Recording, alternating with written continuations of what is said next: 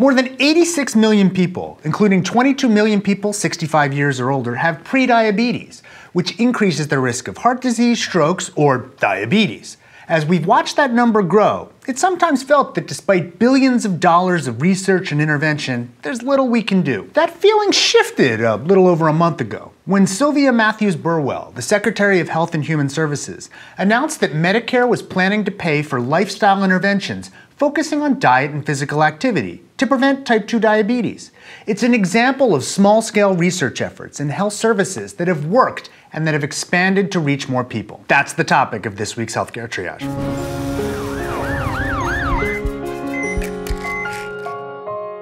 Articles appear every day on major breakthroughs, which never pan out, while this one, full of successes, rarely made the news. This is the curse of health services research, which seeks to improve population health through improvements in access or delivery of care. When most people think of diabetes research, they're thinking about a cure or a new medication. Those grand slams are exciting, but they rarely happen.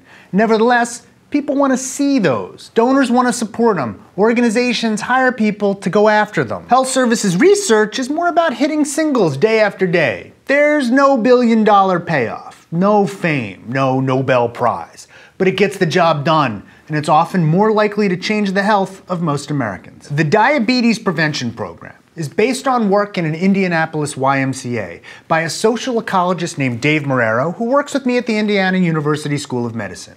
The other collaborator, a physician named Ron Ackermann, once shared a cubicle with me when we were both fellows, and also did much of the work here at Indiana University. The Diabetes Prevention Program grew out of extensive research on weight management and behavioral learning. Years ago, more than 3,200 patients ages 25 to 75 with prediabetes were randomized to one of three groups the first was given an intensive lifestyle intervention. By focusing on a low fat, low calorie diet with the addition of exercise through brisk walking or a similar intensity activity, it encouraged people to lose at least 7% of their body weight and maintain that over the course of the trial. The backbone of the intervention involved 16 one hour face to face meetings that helped each individual participant set and achieve goals to improve health habits. The second group was treated with metformin a medication that can lower blood glucose. And the third was a control group, and they were provided with a placebo medication. The trial was ended early because the results were so compelling. Those in the medication arm had a 31% reduction in the risk of developing diabetes. More important, those in the lifestyle intervention saw a 58% reduction in their risk, Moreover, if you were 60 years or older at the beginning of the study, your reduction in risk was 71%. A later meta analysis confirmed that these results for lifestyle interventions were replicable across numerous different studies. Unfortunately, this is a perfect example of where efficacy does not necessarily translate into effectiveness. Identifying patients with prediabetes was sometimes difficult.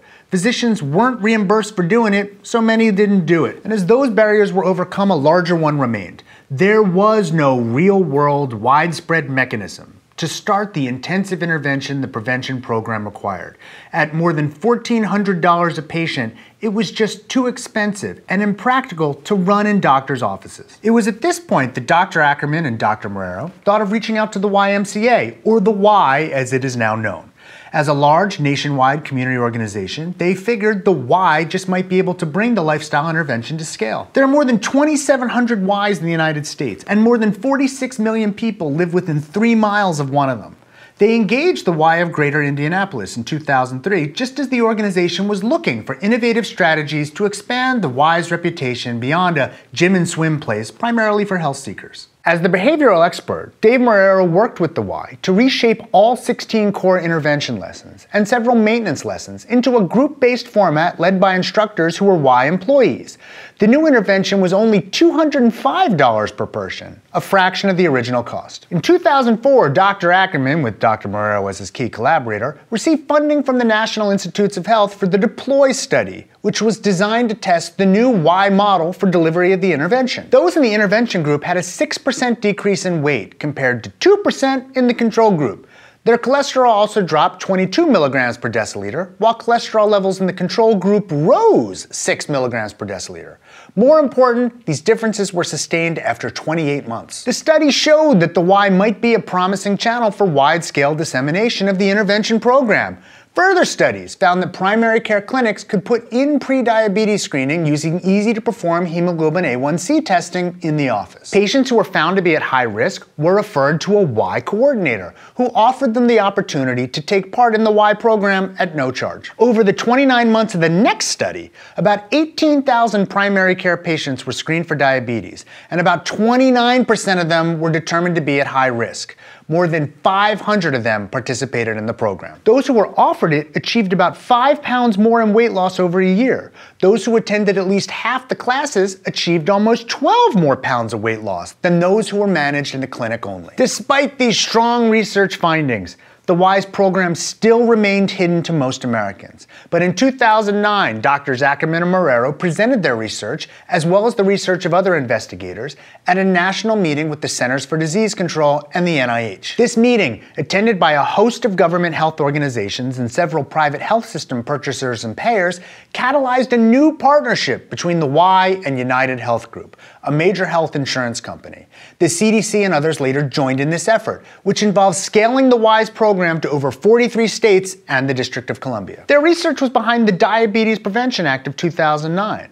This act, later passed as a component of the Affordable Care Act, appropriated money to CDC for the National Diabetes Prevention Program, which provides training and recognition for organizations like the Y that seek third party payment for the program. In 2012, the Center for Medicare and Medicaid Innovation granted the Y about $12 million to start a pilot program to evaluate whether Medicare payment for its program might be cost effective. Among several other sources of data, the actuaries at the Centers for Medicare and Medicaid Services used findings from Dr. Ackermann's study of United Healthcare clients that were offered the Y's program to discover that the intervention offered cost savings. They estimate that if the Y program were expanded to all Medicare beneficiaries, the government might save about $2,650 per participant over 15 months, much more than the program costs. I spend too much time here at Healthcare Triage complaining that our health policy fails to be based on research or that things we do don't work. It's nice once in a while to have the opposite be true. Healthcare Triage is supported in part by viewers like you through Patreon.com, a service that allows you to support the show through a monthly donation. We'd especially like to thank our research associates Joe Sevits and MT and our Surgeon Admiral Sam. Thanks, Joe, MT, and Sam. More information can be found at patreon.com slash healthcaretriage.